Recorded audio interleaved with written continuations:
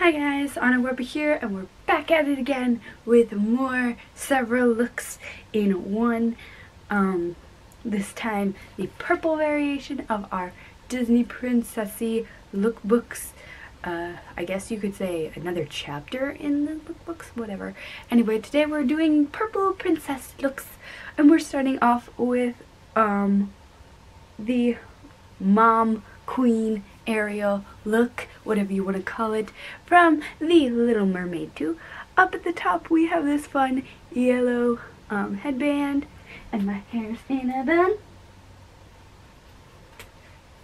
And I'm wearing the base dress for the next few looks. And this gold necklace that has swirlies that kind of reminded me of like seashells. And a long sleeve purple shirt underneath my dress, which I think just makes it look so elegant. And for shoes, we have my favorite little gold a ballet a flats. And that's Ariel Mom Queen look. And let's move on to the next one. Second purple princess inspired look is inspired by Sofia the First. Up at the top we have this cute pearly kitty ears headband that made me think of her crowd. And I'm just wearing my hair down because, yeah. And moving down we have the base dress and we have this simple necklace which is made from a cutout of a, from a card of Sofia's amulet and I just put that on a simple uh, ball and chain. Uh, what's this called? Uh, the ball and chain kind of necklace chain? I don't know. Anyway, uh, and I'm wearing the base dress. I'm also wearing a little uh, other dress underneath just to give it a bit more poof because this doesn't have much shape to it without it, without some help. Uh, yeah. And then same base shoes. Well, actually, I don't know if I'm going to use these for the base shoes or not. Uh, but same shoes as the last look.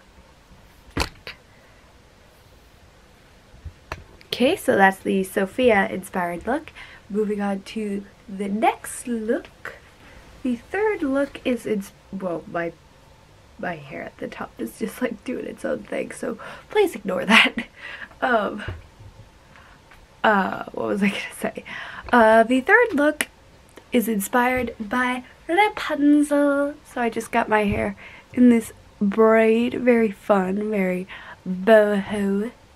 And we have the base dress, layered with a long sleeved pink dress. I mean, pink shirt, duh. And a fun, florally white and pink and gold necklace that made me think of like the purple lace up of her dress and like the white lace around the collar and I'm wearing the same shoes as the previous looks. So yeah, that's that look. The fourth look in this lookbook is inspired by Esmeralda from The Hunchback of Notre Dame.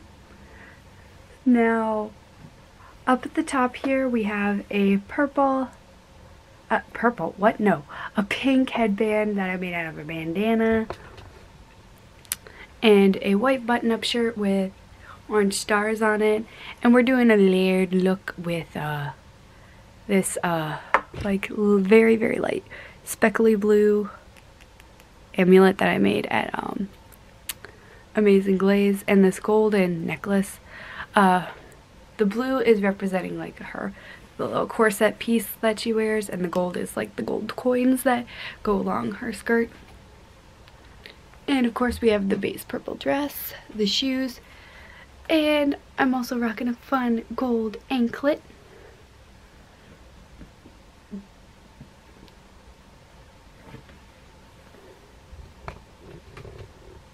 and that's the Esmeralda inspired look.